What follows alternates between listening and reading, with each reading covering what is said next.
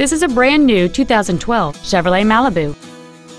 It has a 2.4 liter four cylinder engine and an automatic transmission.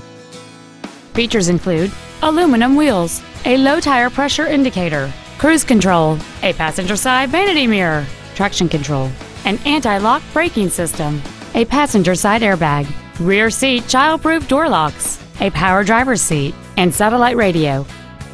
This automobile won't last long at this price. Call and arrange a test drive now.